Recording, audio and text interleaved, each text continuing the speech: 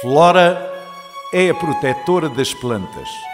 Consegue comunicar com as plantas e tem o poder de fazer crescer todas as plantas. O Capitão Mundo tem o poder da sensibilização ambiental. Tem o poder de semear ideias que protegem o mundo.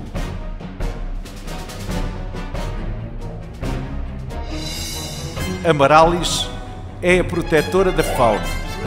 Com a flor encantada, tem o poder de curar todos os seres vivos ao seu redor.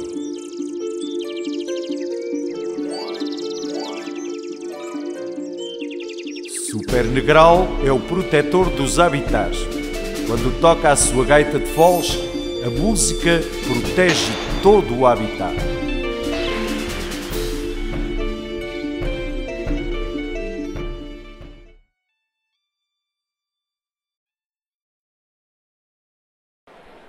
Se gostas de trajes regionais, venha até Miranda do Douro e adquira a famosa capa de honras mirandesa.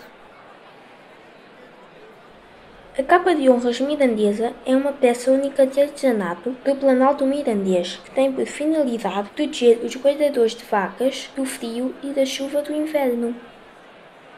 É uma peça com grande valor etnográfico e que requer um trabalho minucioso por parte do artesão que a faz.